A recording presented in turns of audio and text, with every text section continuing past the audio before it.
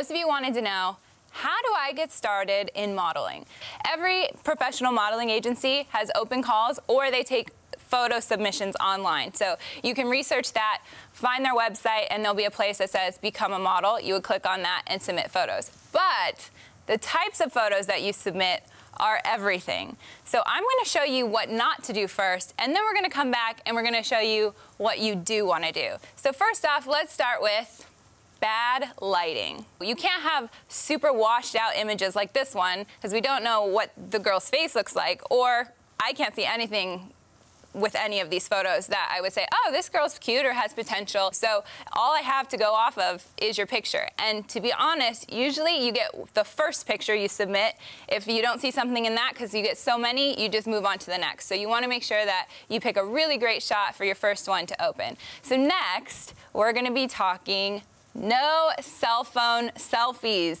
Okay, girls, do not take your cell phone into the bathroom and take a picture or an angle from above like this one. This girl's probably super cute, but I would never be able to tell because I can't see her.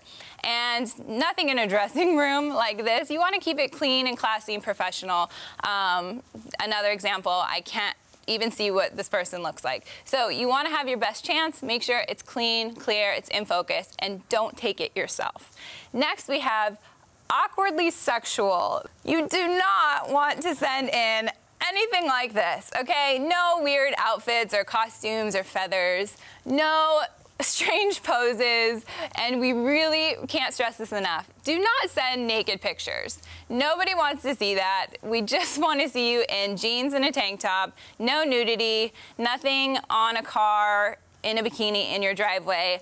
All of that is just the perception of what models do, and that's definitely not what you want to do. And lastly, don't send in your take on high fashion. You don't want to take on what you think is high fashion, as you can see by these examples. Uh, you probably they probably looked at a magazine and thought, oh, this would be cool. They're going to want to see something like this. No agent wants to see any of those things because that's not their job. Their job is to just see you clean, clear, beautiful. So what you want to do is you want to go have natural light. You want to wear jeans, tank top, and heels. You can have your hair pulled back for some, hair down for some. And you want to just have nice, simple, clean background. This is exactly what agents want to see. Simple, pretty, classic. You have smiles, you have a few no smiles. There's a great body shot, a three quarter, a close up. Very simple and clean.